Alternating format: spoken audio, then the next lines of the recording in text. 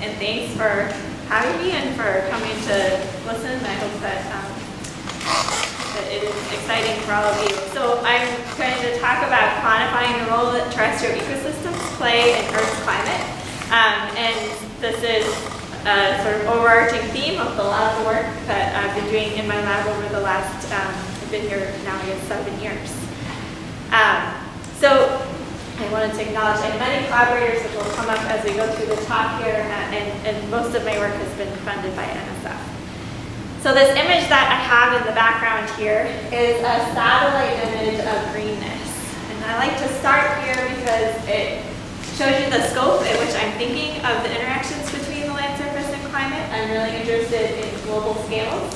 Um, and it also shows us that there is this very direct um, and strong interaction. We can see from the plant uh, activity on the land surface that there is a very direct imprint from climate. There's places that we know are very inhospitable to growing plants that have very little greenness, or places that have a lot of greenness, say tropical forests. There's a summertime in the northern hemisphere image that are really green at high latitudes. So we can just see that plants care about climate. It's also a really functional way of thinking about how plants interact with the climate system. We're not dividing up which individual species live in different places. We're thinking about how they function in general and, and why that might matter. But in particular, um, my work is a little bit different in that I'm not only thinking about how climate influences plants, but also how plants influence climate. So the other direction of this arrow, why does the atmosphere and the climate system care about what the plants are doing in the land surface? And I'm going to tell you a couple of stories about that today. So this question that I'm really asking is where and how do plants influence climate? And to dig into that question a little bit more, we're going to start um, by thinking about where that direct interaction takes place. So where do the plants really directly interface with the atmosphere? Um, and that happens at the surface, um, and it happens um, through energy fluxes and through carbon fluxes. Um, and water as well, but water is going to be tied to energy. So I'm not going to focus as much on the carbon fluxes today, um, but the way that plants exchange carbon and the um, things that govern how they exchange carbon are really tightly linked also to how they exchange energy. So they're, they're coupled together. So how do plants and climate interact? Well, um, plants and climate interact through exchanging, like I said, exchanging energy fluxes. Um, and plants are able to uh, modify all of these terms in the surface energy budget. So the surface energy budget um, has four terms in it. It's got shortwave fluxes, long-wave fluxes, and then fluxes that are related to turbulent mixing of air, which includes sensible and latent heat. Um, and each of these can be modified by plants, so we'll walk through them one at a time. So first, shortwave fluxes, that's sunlight. So sunlight coming in and how much gets reflected is influenced by plants. And specifically, it's influenced by the surface albedo, which is just um, a description of how reflective the surface is. Um, and the albedo of um, different plants, it varies. So uh, plants can have very different surface albedos, which is maybe obvious to people who think about plants all the time, but to people in an atmospheric science community, that's not always very obvious. Um, this image is just trying to demonstrate that we've got basically two kinds of plants here. We've got um, these broadleaf deciduous trees in the front, and we've got some spruce trees, these dark needle leaf trees in the background. And if you look on this hillside in the background, this, this picture's from Alaska, um, you can see this really bright swath here, and you guys have a really nice projector so you can actually see that it's green. Uh, this bright swath is a big patch of um, broadleaf trees, and it's surrounded by these darker and leaf trees. So even just from this image, it's really obvious that they have different amounts of sunlight that they're absorbing versus reflecting. So which, which kind of plant grows there is going to matter for how much sunlight gets absorbed. Plants can also influence what we call long wave energy fluxes.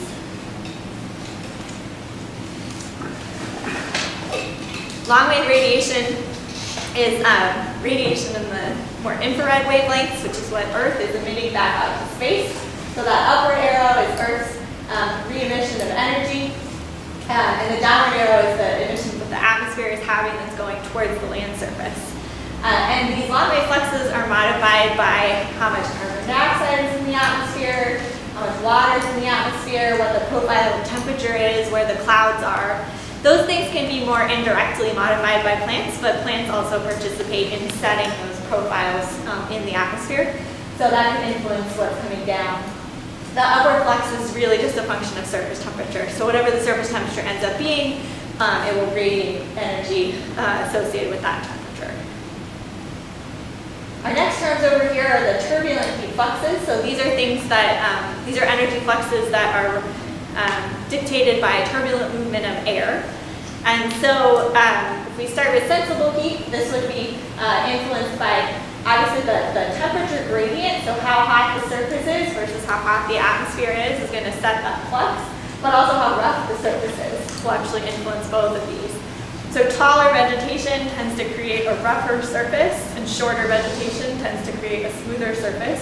You can get more turbulent air movement over a, a, a, a taller canopy. And finally, but definitely not least, is this um, latent heat flux term over here on the right.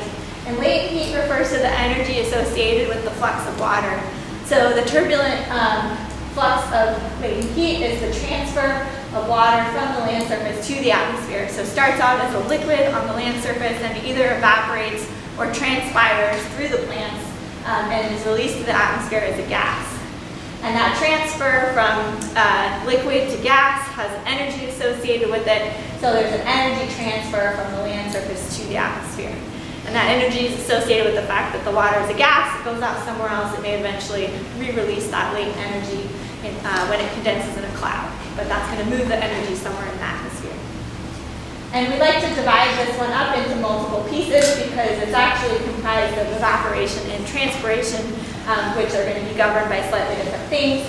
So we have evaporation off the soil surface. We can also have evaporation directly off of a plant canopy. Um, and then we have transpiration, which is directly controlled by, um, by plants. And so let's talk a little bit more about transpiration. So transpiration is the flux of water um, through plants to the atmosphere. And we're going to zoom in here to a leaf, and on our leaves we have stomata. And stomata are the, um, the valves through which plants exchange gases with the atmosphere. So plants need to take carbon dioxide out of the atmosphere in order to make their living. They're going to fix that carbon into sugar and use it for all of their um, metabolic needs. But that carbon dioxide has to come from the atmosphere and into the plant, so the plant needs a way to get gas inside the leaf before it can do photosynthesis. And as it opens these stomata, is going to lose water at the same time, and that's transpiration. So that pathway of water through the plant is going to be really, really tied um, to the, uh, what's happening with photosynthesis and how plants open and close their stomata. So carbon in is really linked to water going out. And so the point of walking through this surface energy budget is so we can think back to it when we talk about some different examples of why changing plants influences climate, why it influences climate nearby those plants. Um, and it's because when you have a change in plants, Maybe that's a change in which plants are growing there. Maybe that's a change in how those plants are opening or closing their stomata or how much they're photosynthesizing or something else about um, their structure or function. That can change the surface energy budget. And by changing the surface energy budget, you can change um, local property, local climate, uh, environmental conditions like temperature, um, humidity near the surface, etc. And so changes in plant cover can really directly influence the climate nearby. Um, we're going to talk also today about how it influences climate over broader scales as well. So I'm going to tell you two main science stories. Um, first about the climate impacts of which plants grow where. So we'll look at changing forest cover. In this case, I'll tell you a story about North America. So changing forest cover in different parts of North America and what the impacts of that are across the rest of the continent. Um, and the second story I'll tell you is, is how there's a climate impact associated with plants responding to a changing climate. So we know that plants care about the fact that the environment around them is changing and the concentration of carbon dioxide. They're going to respond to that, but that response has an impact on climate itself. but first I want to tell you a little bit about the tools that I'm going to use for these problems. So for a lot of my work, um, but not all of it, I use tools like Earth system models. So this um, is a full global climate model that also has plants in it. And this would be a graphical depiction of that. In, in my case, I mostly use the Community Earth System model, which is one of these examples, but in some of the stuff I'll show you today, we'll look at a series of eight different groups that have done experiments with these. And so these models are representing all of the physics and dynamics of the atmosphere. They've got, um, they've got uh, additionally uh, changes in, in, what's going on in the ocean. Um, they're representing processes on land, processes with sea ice, etc. So there's lots of components of the system that are represented. Um, and in my case, I'm going to be doing experiments with these models. I like to change, um, change something in the model and, and then look at what the climate impacts of that are. But on the land, I'll show you a little bit more about the processes that are represented on the land surface because that's a little bit more relevant to when we're making changes on the land surface. So on the land surface in particular, we don't need to see all the details of these, but we basically represent surface energy fluxes, just like I showed you with that terrestrial surface energy budget. We keep track of all of those energy fluxes.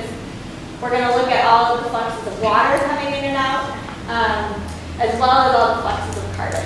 Um, and so sometimes that carbon is going to be linked but, uh, to what's happening in the atmosphere um, in terms of whether it's going to cause warming or cooling. Uh, but in this first set of experiments, it will. But we're still going to keep track of how much photosynthesis there is, how much leaf growth there is, how much um, that will affect sort of what the plant looks like. So there's many detailed processes occurring in lots of components of the system, but I focus mostly on the land. And I use these simulations to try to ask theoretical questions for the most part. So I can do experiments where I change what kind of vegetation is growing in a different place. I can change, um, I'll show you an example where we change just the surface properties, like just the surface albedo, or just the um, amount, the resistance to water flux. And then because we have our own world that we've created here, where we change something, we can compare it with what the, the control looks like. So we have a control experiment where we leave everything uh, the same, and then we change one very specific thing, and we can compare those two experiments, and we can figure out what the response to that one perturbation was.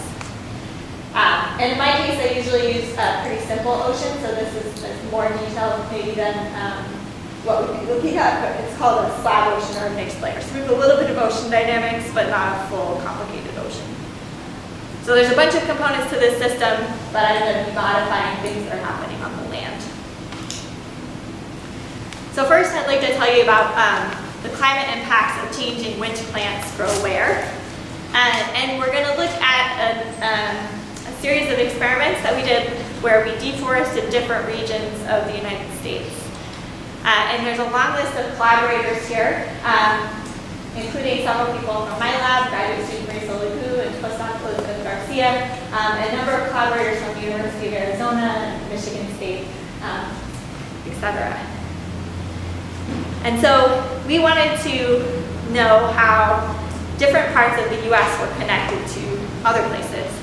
And the basic idea is that uh, you could have a regional forest loss in one part, and this could apply outside of the US as well, but a regional forest loss in one place. And that influences the atmosphere, and the atmosphere can transmit signals, essentially, that results in ecological responses somewhere else. This is a general concept that I've been calling an eco-climate teleconnection. We'll walk through a little bit more of what that means. but this is the idea that you can have a response that matters for the land surface somewhere far away from where the original perturbation of the land surface happens. So if you want to conceptualize what this looks like, you could think about, well, we have tree mortality due to bark beetles, um, what is the ecological response over a wider area to the fact that we lost trees here. So you'd expect there to be local impacts to these communities, but is there broader scale impacts? And the reason why you might expect there to be is because the atmosphere um, connects these places. And we know many examples of where um, we have a perturbation to our Earth system, like an El Nino, for example, where there's really hot water anomalously hot water in part of the Pacific Ocean, and we know that that could influence our climate here. So the atmosphere um, transmits those signals through Rossby waves. Basically, it's like dropping a rock in the pond in the Pacific, and that signal ends up modifying how our local climate is um, in North America. And so we're looking at a sort of similar idea of how the land surface can initiate those same kind of changes. To walk through a little bit more specifically what that means, we actually might expect it to take a path more like this. So we have some loss of forest cover. That's going to locally change the transpiration, change the surface albedo, change the surface energy budget. That will influence the local atmosphere, which could influence atmospheric circulation. And that atmospheric circulation change will have impacts for what climate looks like in other places. Um, and because plants flare without climate, you might have some ecological response to that climate perturbation.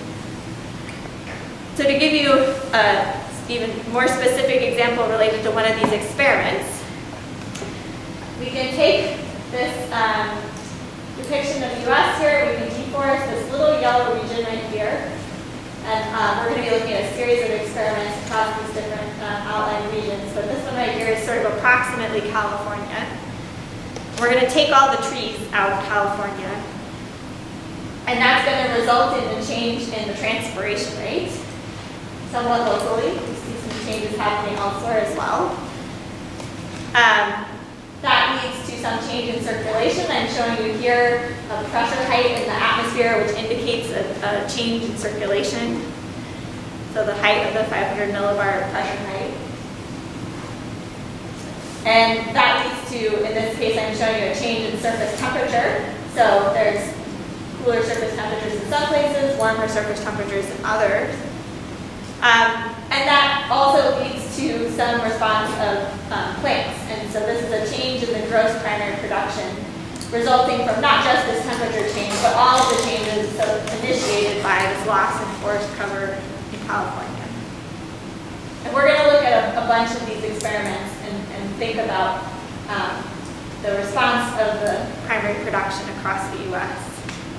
Why it looks why it looks that way relative to the um, deforestation. So to tell you a little bit more about these experiments, um, we've taken these ecoregions, which were uh, defined, or ecoclimate regions, which were defined by the National Ecological Observation Network, um, that roughly divide up the U.S. into uh, different eco-climate domains.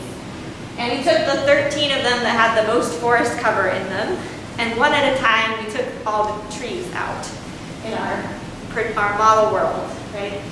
So those are pretty extreme changes in tree cover um, in each of those individual experiments.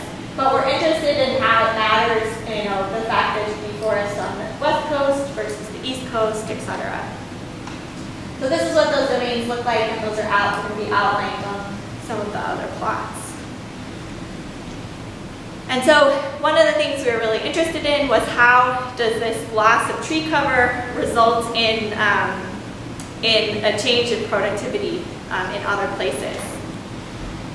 And so we could look at a map like this one. So this is, uh, again, the map of, the, uh, of North America. And this yellow region is denoting where we turned the trees into grasses. So we did, we removed the trees and we replaced them with grasses. And the green and brown colors are showing the change in the annually average gross primary production due to the tree loss in this area.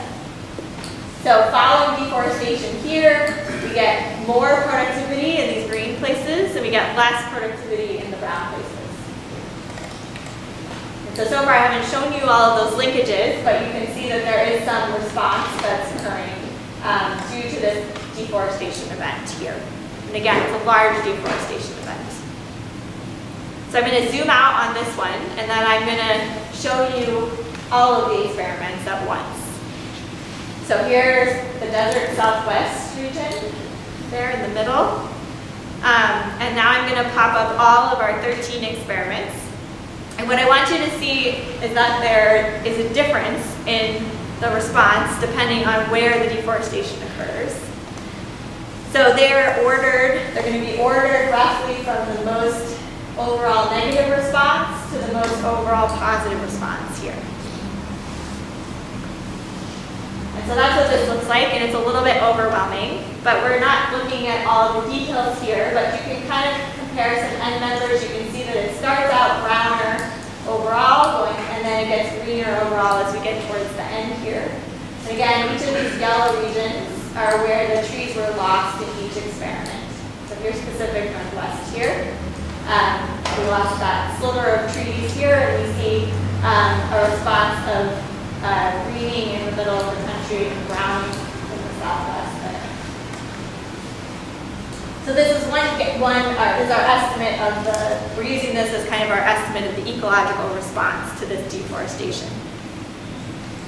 And one point that I'd like to make here is that the impact of deforestation really depends on where, the, the impact overall really depends on where the deforestation occurs. It can go either up or down. Um, in this case of Cal the mostly California domain here, it gets mostly a reduction across the U.S. And in the case of this uh, Appalachian domain here, we get mostly an increase in productivity across the U.S. And somewhere in the middle over here, some places are greener and some places are browner. But it, it does really depend on the location of the forest loss. So one question you might have is, well, why is the productivity changing? Why do the plants care? Um, and we can see pretty clearly that the, there's some simple ways to explain that aspect of it. So the productivity is generally going down when the summers get either hotter or drier. And so this is now showing, again, it doesn't really matter which of these lines is which, but in general, um, when the summers get warmer, we see less productivity. And so this is the um, this is the slope for each of these uh, each of these different domains in a different color. And there's some exceptions to that. Say this yellow line right here, which is one of the um, domains in Alaska, gets more productive um, when the summer gets uh, warmer. But in a lot of places, when the summers get warmer, they get less, they get more productive. Sorry, summers get warmer, they get less productive. Yeah. Just for clarification, is, are those lines the cells inside the region or continentally? These are the um, locally. So this is saying that um, for each of the, there's 13 dots that make up each of these lines, which is each of the experiments. Actually 12 we left out when they, we changed itself. But it says that, um, so how did Alaska respond to each of the experiments depending on what the temperature over Alaska did. And so we average them if we go back here over the, uh, whatever the domain outline was. So it takes whatever grid cells lie in there. So there's more than two points in those lines. It's not just a deforested, not deforested. This is looking at just do we think plants in that place are doing better when the summers are warmer or cooler. And in most places they do better when the summers get a little bit cooler, with the exception of the higher latitudes. And similarly, when the summers get drier, um, they do worse. So wetter summers tend to lead to more productivity. This is sort of the proximate reason. Why did the primary productivity change? Well, the local climate conditions got better for growth, and what does better mean? Well, in this case, it seems to be pretty well summarized by having a cooler summer um, or a wetter summer. Yeah. Is that the Pacific Southwest pretty productive and gets better when it gets warmer and gets much worse when it gets wetter? It doesn't make sense. Well, there's- yeah, there's a purple line right up there at the top. Tell apart here. The, this one here. Yeah. Yeah. There's not much change in precipitation in any of the experiments, so it's a little hard to tell how meaningful that one's going to be. But it does look like it is, is uh, generally doing okay in the summer when it gets warmer. I mean, I might expect that they would be really dominated by wintertime rainfall rather than summertime rainfall, so this might not be the right metric for every domain. But if we had to sort of generalize across all the domains, this did the best job of telling us you know, approximately why are they, you know, why are we getting these responses? Well, it's, it's basically because of those two climate factors changing. And then the question is, well, why are the climate factors changing that way? Um, and I'm not going to totally answer that one for you here, because for each of these 13, for, for each of these 13 experiments, we really need to come up with a different reason for why deforestation in this region you know, specifically made the, the summertime conditions in this other region change. And so I have some, I can talk about that with you later, but it's a little bit, uh, having all 13 of these is a little bit much much to explain. So that's something I'm also looking into more. Um, but we can understand why the productivity changes uh, in response to the local climate. We're still working on sort of clean explanations for why deforestation leads to the climate changes in those other places across this large group of experiments. But one of the points I'd like to make is that it varies a lot spatially, and it's not just a function um, so there- there's more, there's definitely some spatial component to it that's not just a function of how many trees. So uh, this is now summarizing these, um, these plots here, just now averaging over the US. Um, we can go from the same ordering of these experiments from the most negative overall response over the US to the most positive overall response in the US. Um, and so this is that we saw the California domain over here, and the Mid-Atlantic shows up all the way over here as having positive response. But this is how those, those look if you summarize them all just by one average change for the US. Um, and I'm going to show you uh, next the forest area that got removed in each of these experiments. So uh, down here is plotting the forest area for each experiment, and this is a snapshot of what that looks like. So we have lots of forest area um, tree cover in the Pacific Northwest here, uh, but our domain is small, so we still don't have a ton of forest area that's removed in that experiment. But you can see there's definitely not a direct correspondence between the area of the forest cover that's changed and the total amount of response that happens. Um, and it's something you might expect initially, but we know that the atmosphere is going to care about locations differently, and so the, the takeaway here is that that location seems to matter a lot. Um, and to illustrate that a little bit farther, I'm going to take this top plot and just divide it by the bottom plot to show you the sort of relative contribution based on the area that was removed um, to changing the productivity. And we can see that this, this domain um, in California really pops out. Um, you can guess that here because it has this, one of the smallest areas um, as being having a sort of outsized impact. So it doesn't have a lot of area of forest that's removed, but it has a lot of impact.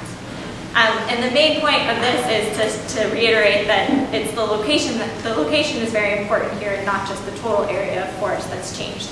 And that's because the atmosphere is going to be sensitive to these different locations. Um, it's going to have different sensitivity. So we also wanted to look at how the domains, um, these different regions cared about forest loss elsewhere. So, so far we've been looking at what happens if you deforest in one place, what happens in lots of other places.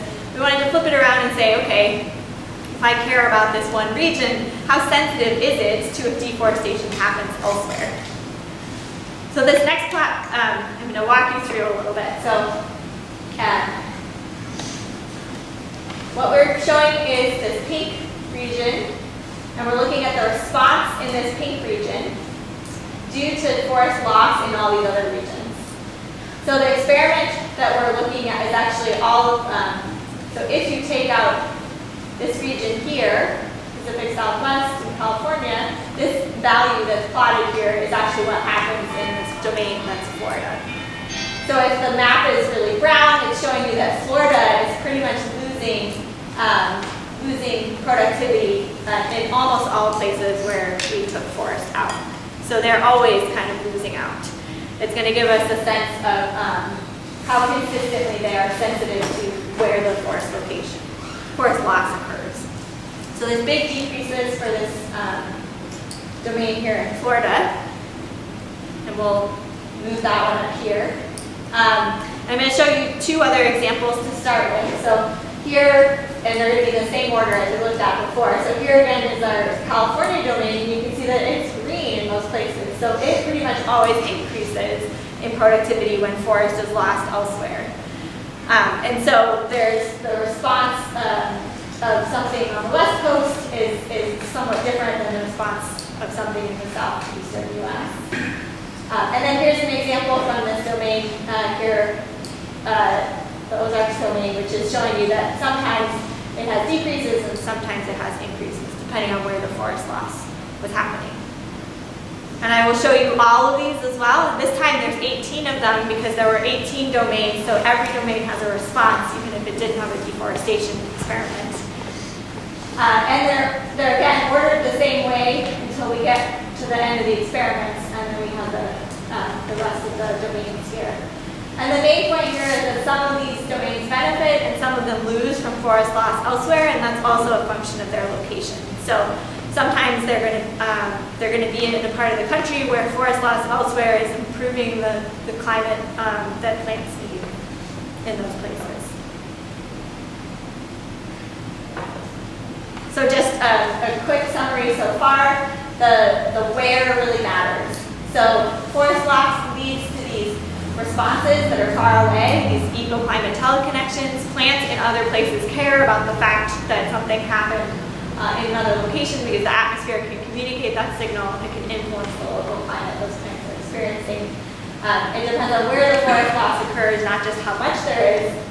And some of these domains have a much bigger impact across North America than others. In particular, we saw the Pacific Southwest, um, which is a place we know there's been a lot of um, forest mortality in last, decade. And some of these domains are more sensitive to forest loss elsewhere, which is also a function of where they are. So I'd be happy to talk about this more with you offline. We have a paper in the last year looking at this.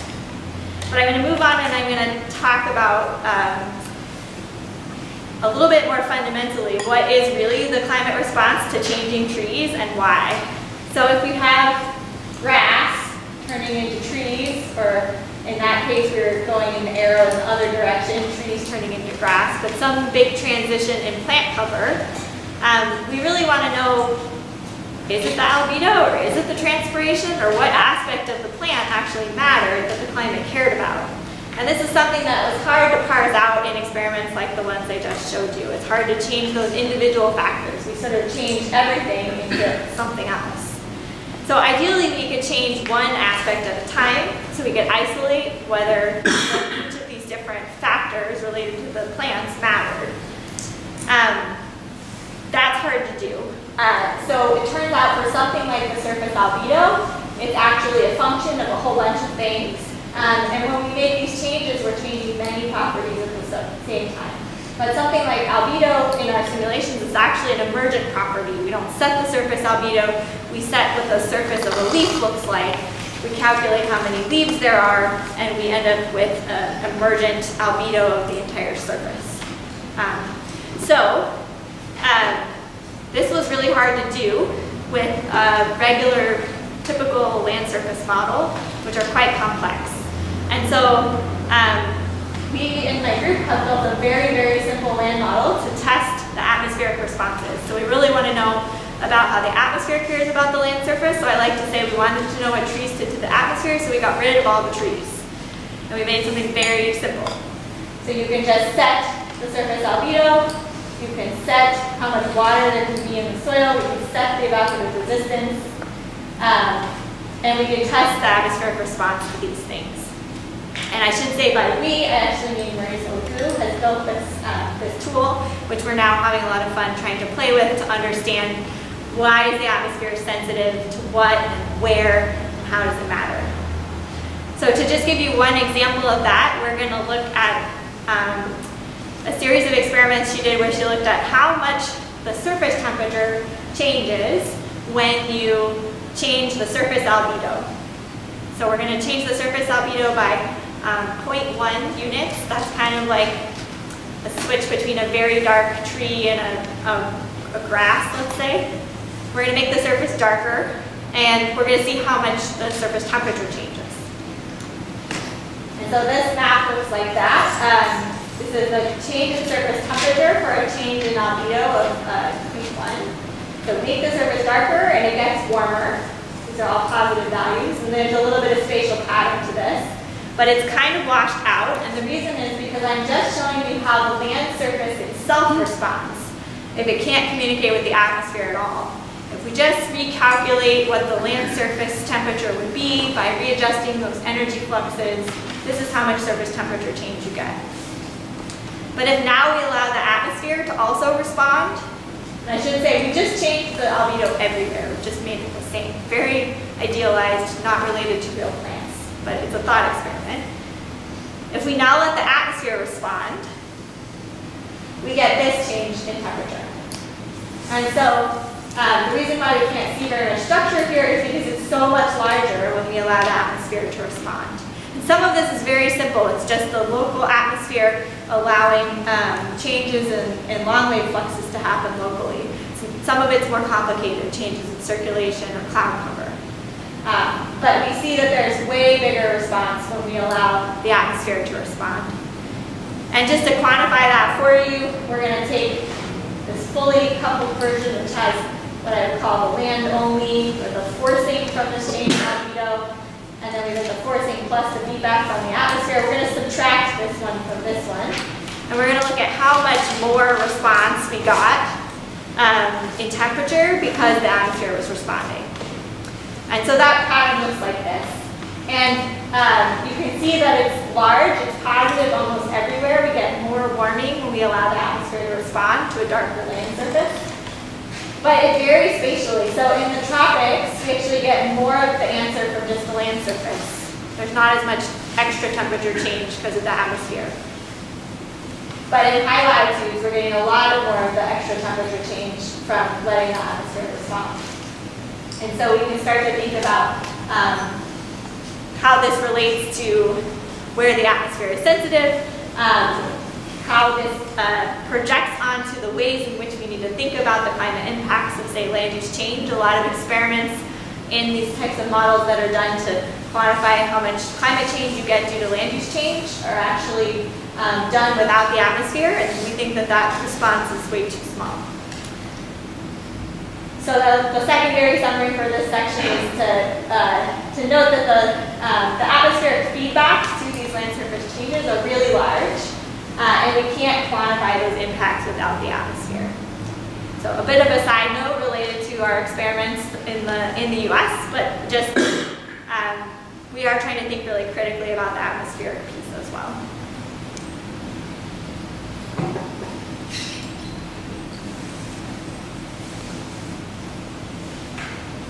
So I'd like to tell you a second story about the climate impacts of how plants respond to a changing climate. This is really thinking about um, plant physiology and how it responds to climate change. Um, and a number of other collaborators here from a whole variety of institutions uh, that I've worked with on this. And I want to motivate this by reminding you that temperatures are expected to increase on Earth um, associated with climate change, and that this is because of greenhouse gases. So this is because of heat trapping gases in the atmosphere um, mostly due to carbon dioxide. And associated with this increase in temperature, we expect climate impacts um, on land. Um, and one of the ones that is frequently discussed is that droughts are predicted to become more severe. And so this is a map of um, an estimate of the Palmer Drought Severity Index, which is an index of, that we use presently to measure how severe a drought is. It's showing you how that will change by the end of the century under a high greenhouse gas emissions scenario. So these pink and red colors are really big increases in drought severity. Uh, and it's increasing across much of the land area. So that looks pretty dire. But I want to back up and ask us to think like a tree. So we've got our tree here and it's got our leaf, it's got its leaves. Those leaves have the stomata. And remember that carbon going in is very closely related to water going back out again. Um, and so these, the, the process of taking up carbon dioxide is very coupled to the process of losing water. And we actually describe that um, using an equation um, for stomatal resistance or stomatal conductance. This is one example of what that equation might look like. It's got a couple of factors in it. It's got uh, some factor related to humidity, in this case the relative humidity, some factor related to photosynthesis, represented here by A for assimilation, uh, and something related to the carbon dioxide concentration. So that's that's how we model the opening and closing of these uh, of these stomata, um, and how it uh, fairly well describes what happens at a leaf level when you subject plants to changes in their environment. But I just told you that greenhouse gases are increasing. So what happens, now we've got a cross section of the stomata here, we're bringing CO2 into the leaf and water is escaping at the same time. What happens as we increase CO2? Well, we've got a lot more carbon dioxide outside the leaf now. And the plant can do a couple of things. It can photosynthesize more, and maybe it's less limited by the availability of carbon, so maybe it increases the photosynthetic rate. Um, it can also close its stomata. So the carbon dioxide here on the equation's on the bottom. So that would, if there's more of it, it would tend to um, increase conduct, written in conductance, so increase the conductance. If the photosynthesis increases, that would tend to decrease the conductance. So those are working in opposition to each other. So CO2 itself in the atmosphere is going to have multiple effects. it's going to have the really obvious radiative effect. I've just plotted temperature here over land, temperature increase associated with a big increase in CO2. So it, it happened everywhere, I just plotted it only over land. Um, so when you add lots of carbon dioxide to the atmosphere, it makes the plant hotter. But we know that it's also going to influence plant physiology, it's going to influence photosynthetic rates, it's going to influence the opening and closing of stomata. And so um, these two things are possibly working in opposite directions.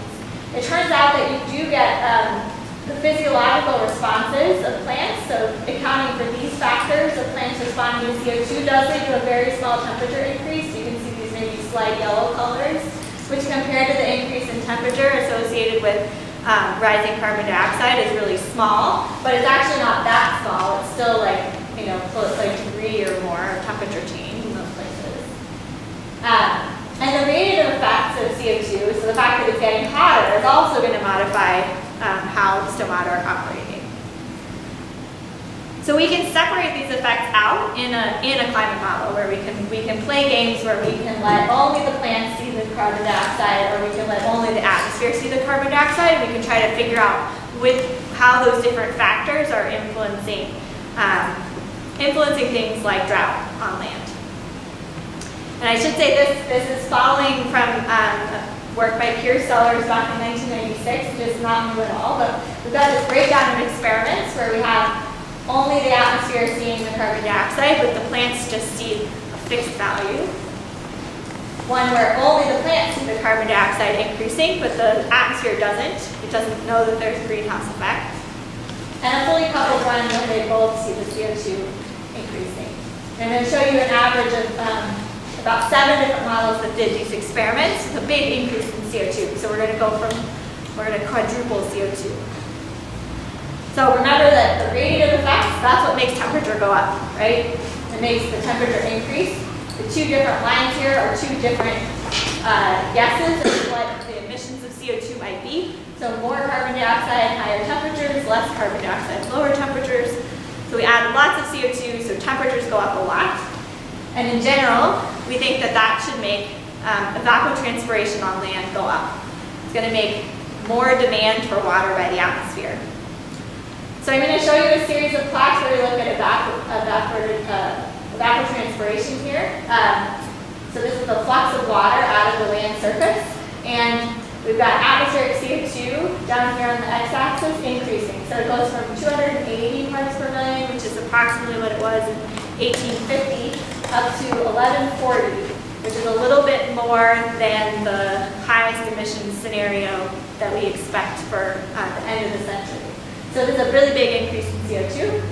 And you can see that if we just consider the radiative effects, basically the atmosphere getting hotter, we get more evaporation out of evapotranspiration out of land. It goes up like this. But if we take the flip side of that and we say only let the plant see the CO2, we don't let the atmosphere see the CO2 at all, and we just look at how plant physiology and plant growth respond to carbon dioxide, this is the evapotranspiration as carbon dioxide increases. It goes down pretty significantly.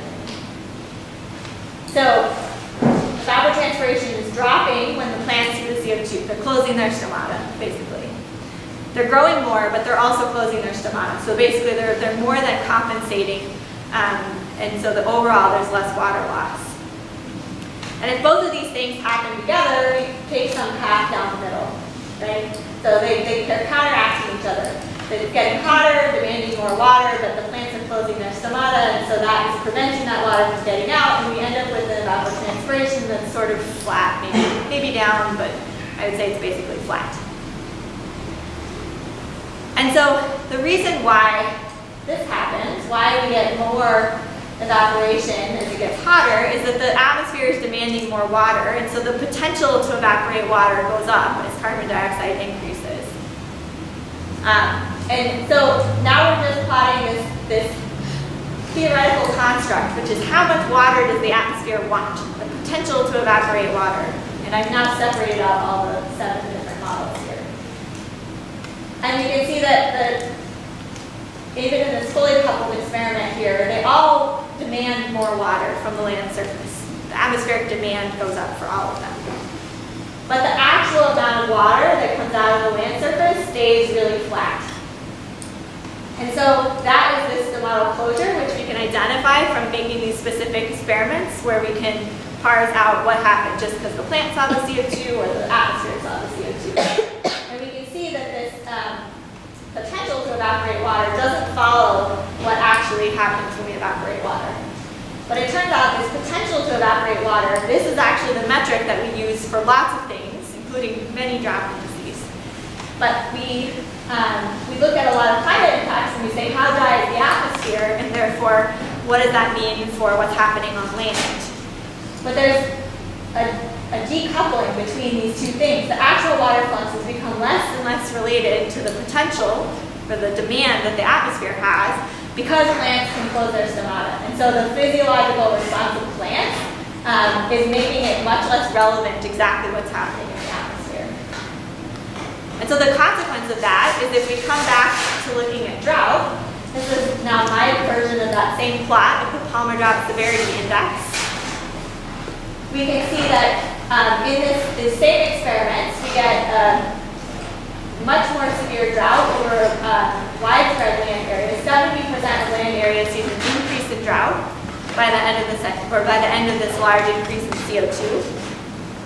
When we use something like this Palmer Drought Severity Index, and this has that potential, it uses that potential to evaporate water as the driver for whether there's a, um, a major driver for looking at if there's drought. And if we look at something that does not have a potential but uses the actual simulated um, evapotranspiration, which considers many of these plant, considers all of these plant responses, we can see that the difference between the actual rainfall coming in and the actual evapotranspiration is not nearly as severe. These aren't exactly the same index here, but you can see that although it is drier over 36% of land, that's just all places that got drier at all, it's not nearly as severe.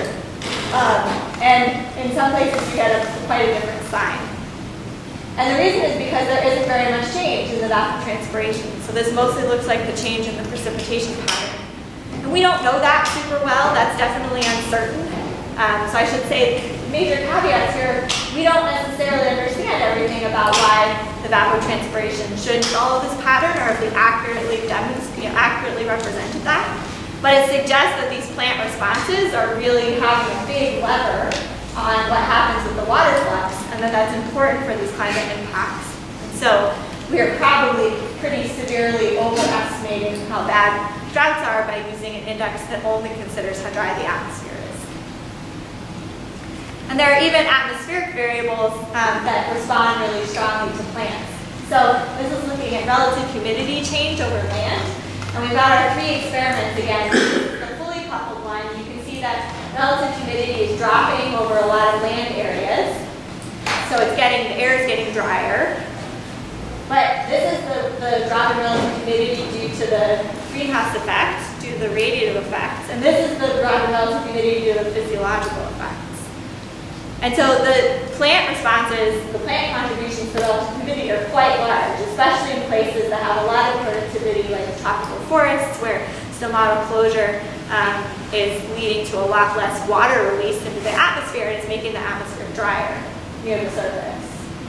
And so this is just a reminder that this, um, this matters even for things that we consider to be atmospheric variables have this very strong plant signal in them. And whether or not we think that this is a perfect representation of the plant responses is suggests that those plant responses are adding a really significant component of uncertainty or at least um, part of the signal to the response that we see when we look at everything coupled together.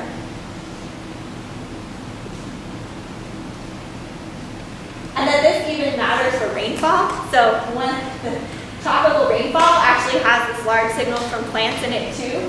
Um, so again, the same breakdown, this is our fully coupled response of, um, of rainfall. And again, rainfall is highly uncertain in terms of how we represent it. But if we break it down into these two experiments where we look just at the physiological responses and just at the response to radiation, we can see that a lot of the answer in these tropical land areas, so just maybe, you know, concentrated to right here, if you look at the full response, about half of the answer is actually coming from the plant physiological responses. And fun story, it gets wetter in Indonesia and drier in South America, and they're both due to stomata closure. So over Indonesia, it gets the stomata close, it gets warmer, you get more sensible heating, you've got lots of water, so you lift your air it rains more. But over the Amazon, if you stop putting as much water into the atmosphere because the stomata close, then you get less rainfall because you get less recycling of that. So I just think it's fascinating to think about how these plant responses are actually responsible for um, things that we consider part of the physical climate system. And most people aren't thinking about how plant responses to changing climate um, influence those factors. But as I said, there's uncertainties associated with what these plant responses are, and definitely with what the precipitation responses are. Um, so we need to keep that in mind. But I would say that doesn't mean that, uh, it, it, really just says that these plant responses are important, and whatever size we think they are is, is having a big influence on what we think surface climate looks like over land. And one additional caveat is that predicting the future is really hard.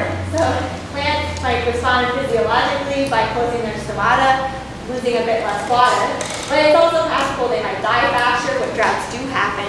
So um, this isn't to say that we know how to represent all of the responses to drought. We really don't know how to represent plant mortality yet.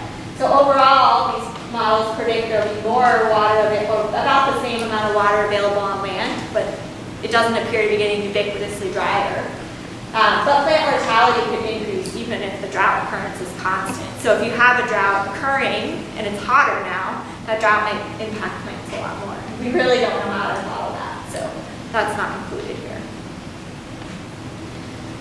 So to summarize the second part of the talk, um, the potential amount of water flux, so this demand that the atmosphere has, is unstable relative to the actual water flux as carbon dioxide concentrations change because plants are responding. And so it's not a good metric over, over changes in carbon dioxide, particularly going into the future into high values of carbon dioxide. So we need to be really careful predicting climate impacts that uh, ignore these plant responses, even if they're uncertain. So the plant responses are uncertain, but if you assume that there's no plant response, you're making an assumption that's pretty far outside of where we think the answer should be. um, and even these atmospheric variables, like relative humidity and rainfall in the tropics, can have a large influence from the plant responses to climate. So we come back around to the, the bigger question of where and how plants influence climate. Um, I talked today about how there's a, the change in climate is a function of the magnitude, the location, the plant type. Um, land surface changes are magnified by the atmosphere. Uh, and the physiological responses to um, reduce the occurrence of drought, they make the land a little bit wetter, they alter precipitation, but really that these, uh, the main take home is that it's critical to include these plant responses in our climate predictions and to think thoughtfully about how they're influencing um, climate impacts that we're estimating in the future. Thank you.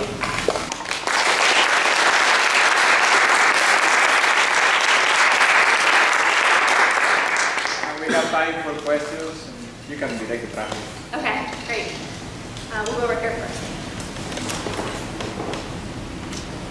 So you showed us some idealized uh, sensitivity scenario simulations by removing trees in specific regions, and which is very interesting. But uh, here I have three questions. And the first is, so what is the uh, implication of those results? So can we use them as guidelines for uh, geoengineering or something like that. And the second is, have you tried more realistic scenarios by considering uh, ecological disturbances like light wildfires and uh, weather events? And which also leads to my third question is, uh, so have you considered uh, those fire disturbances in your vegetation response to climate change? Great, okay, so the, I'm remembering the second two questions and for- forgetting the first one.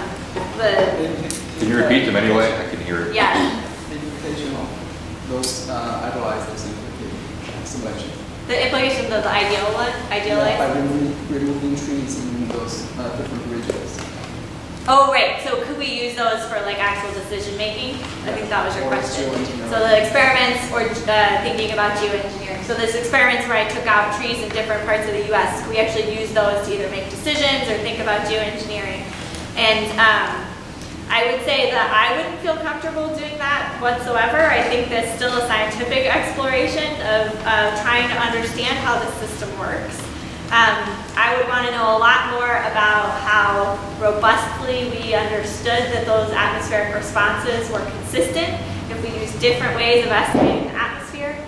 Um, and as you said, those are really big changes in forest cover, but I think it illustrates these important scientific points about how the location of the forest matters, um, and we can start to piece together what to do with that. So we are trying to to use them in some ways in that direction, but I wouldn't want to make um, too many specific decisions. I think of them more as a conceptual tool at this point of how these regions may be connected together.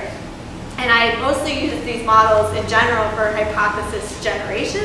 So we can we use those experiments to create hypotheses that we can come up with more ways of testing. Um, and then And the second question is Yeah. uh, some more realistic scenarios. like- Oh, right, yeah, more realistic scenarios and then how we consider wildfire responses? So uh, there are ways of representing wildfires in these simulations and so there are, there's some fire response. I don't think the fire response is very well simulated um, and probably not done to satisfaction. So I would say we've done that poorly at best. It would be interesting to look into that more. And then in terms of more realistic distributions of plant changes, that's definitely um, something that I'd like to look into um, more. We've been working our way down in scale, so I will tell you, despite the fact that those are very large experiments, they are much smaller than the experiments we've done before. So um, we could look, I've looked previously at what happens, you know, if we take all of North American tree cover or all of North American um, uh, grass. So I was actually a little bit surprised that we got the magnitude of response that we did from those smaller regions, even though those regions are still really large. And so now, because I'm, I like to start with the bigger hammer and work my way down, because if you don't see anything with the smaller experiments, it's hard to know why you didn't see a response. And so now that we're trying, we're sort of understanding what those responses might look like, we can start to think about how it scales. We have done some experiments where we do scale um, more theoretically and not tied to um, real forest loss patterns, um, but we've looked at, at scaling and thought about does it do these responses scale linearly with forest area? Um, and we find that the local climate responses don't really. They have a threshold response that really depends on how much water is available. So if you have water available, you get one kind of response, and if you start running out of water, you get a different response. And that's because you switch from having latent heat fluxes to sensible heat fluxes. So we're trying to come up with some um, scientific conceptual things like that, but I would like to look at more realistic distributions of forest loss as well. Uh, A couple of things.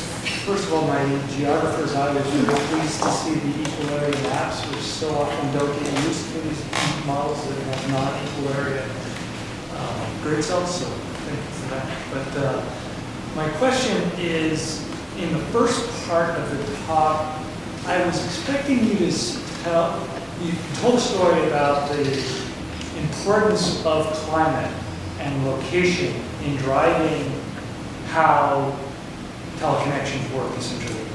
I didn't, I was expecting to hear something about how the climate i- or the the atmospheric circulation. I Yeah. was expecting a circulation story, something about waves and Yep. um, responses of those to changes in the force field, but you never heard it. Yes, Did I you- did can get that. Do you know anything about that, and speculate, or what, what is actually, Yeah. so the east versus west is pretty striking? Yeah. So we haven't come up with a nice, clean way of explaining those 13 experiments, which is why I didn't tell you that story here. I definitely have other projects where I have nice explanations for how the teleconnections work and why. And I'd say that is one of my major frustrations with what we haven't finished yet with this one. Um, I do think there's something to do with the West Coast versus the East Coast. We looked at a bunch of different factors to try to identify what can explain most of these experiments together and haven't come up with a nice way to do that. So think maybe that was too hard of a challenge and we need to just go and try to explain them more individually. Can you pull out from those models like the waviness of the, the jet stream? Yep, we have all that kind of information in the atmosphere, so we could look at that more. I'm sort of person limited at the time, so I, at the moment, so I have all that simulations. Angus really excited about it, wants to look at it. We have a lot of output, like seven terabytes of output to look at. Um, but yes, I agree with you that I'd like to know more about that. I will say for other experiments we've done, we have some really nice stories about how those teleconnections happen. Um, particularly if you make big changes in one hemisphere but not the other, then we get known kind of responses of the atmosphere that lead to shifts in circulation that have teleconnections in the tropics um, that's driven by that sort of interhemispheric energy gradient, things like that. But I don't have a great set of, I don't have a nice story for you about North America. So you're right, it was missing. I mean, uh, first off, I just want to say thanks. That was a really fascinating talk. Um, and I have kind of a follow-up question to Dan's, because um, I was wondering about the mechanisms in that first part, right? So there, there's like the mechanism you're asking about, the sort of spatial connectivity with Yeah. atmospheric circulation. But um, one of the other things I was wondering about is how each of those regions are treated in the model, given that like you've got both on the sending and the receiving end, differences in like evergreen versus deciduous versus needle and broadleaf, um, and how like some of this, I was just imagining in my head like the East Coast, West Coast thing, like you could imagine some of those patterns emerging even if there's not a spatial process, but just based on where the vegetation exists in there. How, much of the model incorporates all of those different functional things? Yeah, so you mean, uh, so, so there is a distribution of what kinds of plants grow where. We don't have a lot of granularity in that, but we would capture some of the categories you were talking about, like needleleaf versus broadleaf. Um, and so we start with some base distribution of that, and then we took all the trees that were there and turned them into grasses. So the experiment is a little bit different in those different places. We can say what was the resulting albedo change or transpiration change associated with that. Um, and you're right, the, the proximate, like the response of the productivity in those regions would also depend on what kind of plants were there. So it's not a super clean experiment. Um, it's part of the reason why the, the idealized experiments, you know, are a little much more disconnected from reality, but can be very, very clean. Um, when we start trying to actually change the plant types around, we end up with a lot of these like, well, did it go up because that kind of plant did better? Um, and if a different kind of plant had been there, it would have responded differently. Yeah, like One the last question. Um, Oh, sorry, just really quick, the one in Yeah. particular, California, like stood out with extremely Yeah. high leverage, right? And it's got a unique climate, as Yeah. well as it's the only region where you've got, no matter if you're needle leaf or broadleaf, you're evergreen pretty much in California. Yeah. Well, yeah, as Doug pointed out, that it, it had a different, it, it was productive when there was deforestation elsewhere, but it probably cares about different types of climate changes, like happening in the winter instead of in the summer.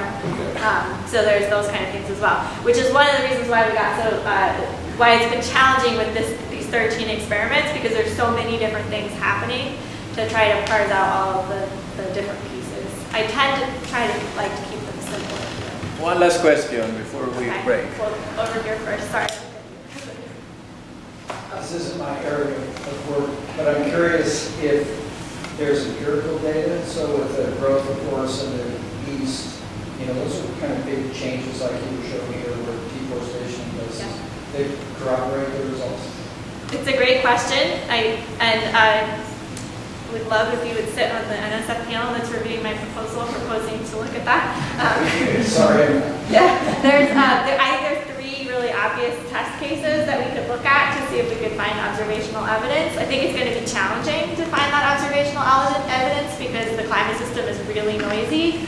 And although these signals, we can isolate them in the climate model because we can really quash out a lot of the rest of the noise. It's gonna be hard, but I think we have to try.